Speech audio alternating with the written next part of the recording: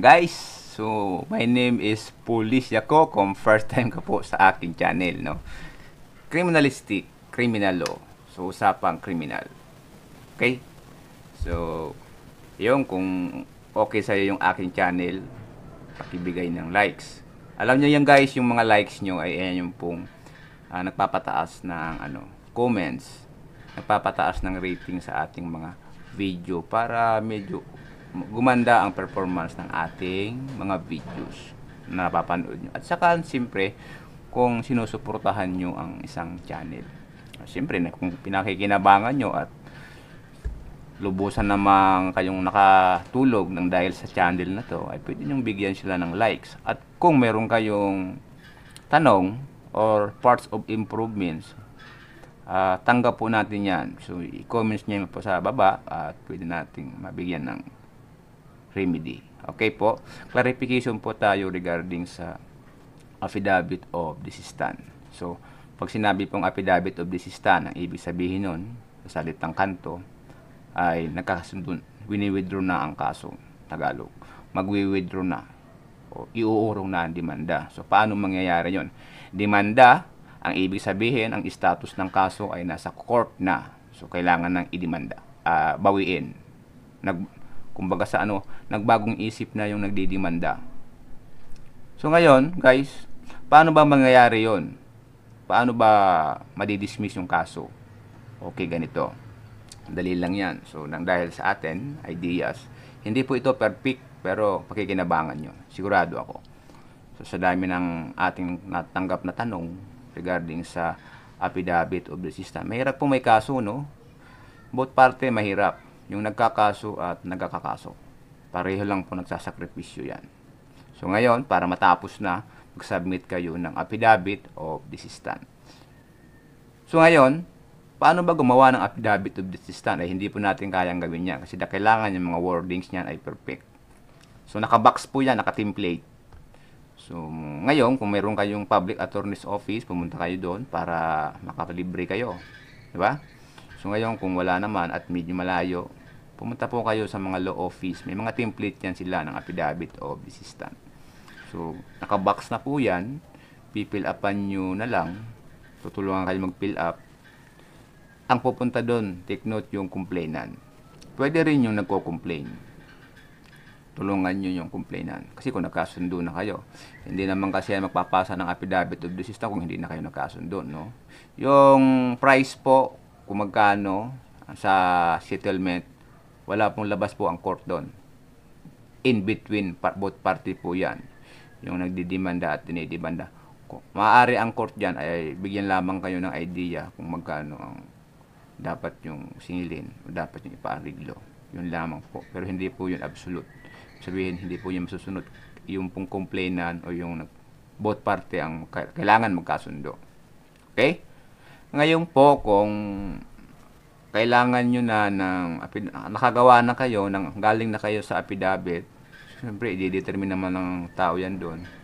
Kapag nagawa na, pipirmahan niya ng complainant ngayon, at pumunta po kayo sa prosecutor kung saan nakafile yung kung saan may hawak ang kaso.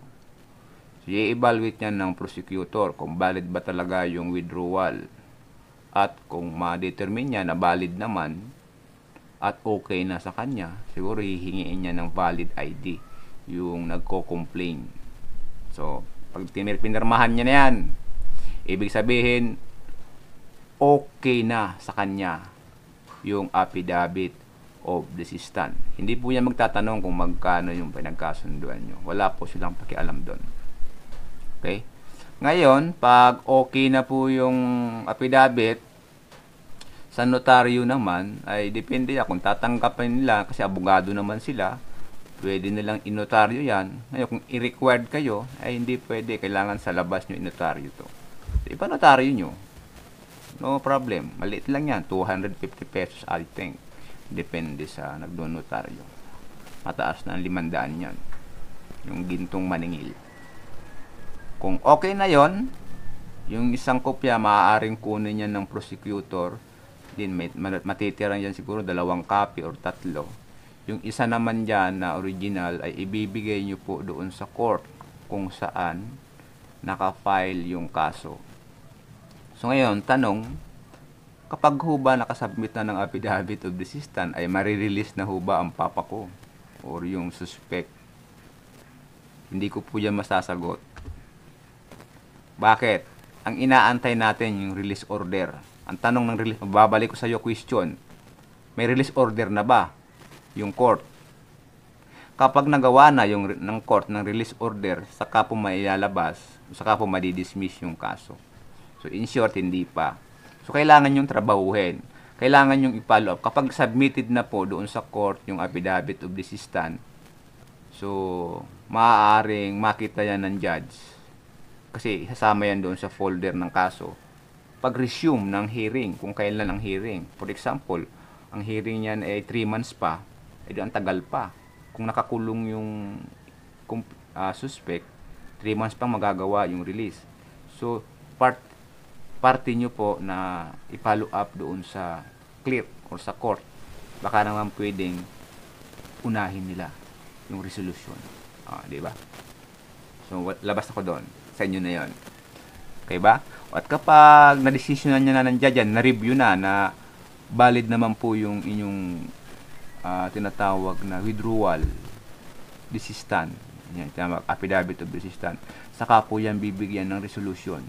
So, ibig sabihin, pwedeng i-dismiss na yung kaso. Saka nga yung magre-release niyan, kukuha kayo ng release order diyan sa mga court. Saka lang marirelease yung suspect kung nakakulong. Saka lang madidismiss yung kaso kung ikaw ay may kaso. Okay ba tayo doon? So, ganun po. Wala pong, more or less, wala pong specific time kung kailan. So, yung court lang po at kayo ang magtatrabaho nun. Siyempre, hindi tatrabaho ng complainant yan. At yung bayad po ay hindi rin natin masasagot. Depende po yan sa nagdidemand. Yung affidavit of desistance. Siyempre, yung malapit sa katotohanan na price. Okay? Wala pong, hindi po kayo didiktahan, ay hindi po yan po obligay ng court kung magkano ang ibayad. Maaaring yung court ay bigyan lamang kayo ng idea kung magkano ang possible yung ariglo, singil. Pero yung kayo si complain, si complainant pa rin yung magsusunod kung magkano ang kanyang demand. Ngayon, kung, kasi nga, kung hindi kayo magkasundo, tuloy yung kaso. Okay ba? Ayun po ah. Malinaw tayo doon na hi- hindi porket nag submit na kayo ng affidavit of desistance, agad-agad pong marirelease yung suspect. At sa pagbayad naman ng settlement, kung ikaw naman ay magbabayad o makikipag-settle, no, make sure na okay na yung affidavit. 100% okay na yung affidavit of desistance saka ka ngayon saka mo ngayon ibigay yung hinihingi niyang ariglo. For example humihingi siya ng 20 mil sa ariglo binayad mo agad hindi pa siya nakabayad hindi pa siya nakagawa ng affidavit of desistance so nagbago isip niya nagpadagdag so ngayon anong nangyayari sa iyo tapos nag, ayaw mo na rin. Di, balik na yung 20 ko. Hindi, wala na. Nagastos na. So, magkakaroon kayo ng conflict. O, tablahan. Ang parehas niyan, bago mo ibigay yung sinihingi niyang ariglo, dapat planchado na yung affidavit of desistance. Nakagawa na, pasado na sa prosecutor, at submitted na doon sa court. Yan, pwede na yon. Ibig sabihin nun, mataas na ang tsansya nung pumasa. Kasi pumasa na sa prosecutor eh. I-review na lang yun ng abogado, ng judge. Kapag na-review yun, I think naman, si prosecutor naman eh, katiwa-tiwala naman yan. Hindi, hindi naman ipapasa yung affidavit of desistance niya, hindi na pipirma. Kung, kung kulang yung, kung hindi i-valid yung nagwi-withdraw, kung kulang yung dokumentong hinihingi niya. Ah, di ba? So, yun po, saka kayo magbayad. So, kaliwaan. I-clear mo o i-submitted na yung affidavit of desistance, bigyan ka ng copy, sa kabayad. So, quits. Diba? Hindi yung bayad mo na, tapos affidavit of desistance. Ay, ta- maaari pong matabla tayo doon. Diba?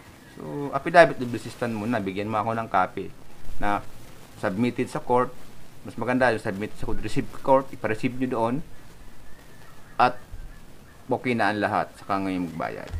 Okay? So, thank you for watching. My name is Police Yako at muling nagsasabi, hindi po lahat ng criminalistic ay nagpo-police. Yung isa po ay nasa YouTube. Thank you for watching. See you my next video.